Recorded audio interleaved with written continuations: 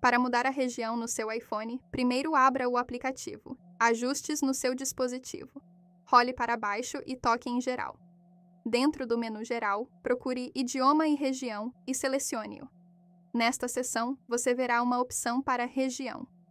Toque nela e você verá uma lista de países e regiões. Role pela lista para encontrar aquele que você deseja definir como sua nova região.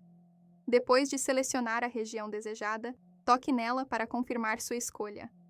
Após mudar a região, seu iPhone pode precisar reiniciar para aplicar as novas configurações.